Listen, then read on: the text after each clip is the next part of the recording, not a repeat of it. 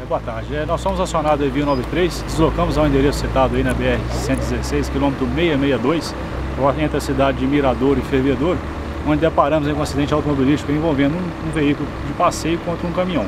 É, a princípio houve uma colisão frontal, onde nesse veículo de passeio se encontrava duas vítimas encarceradas entre as ferragens.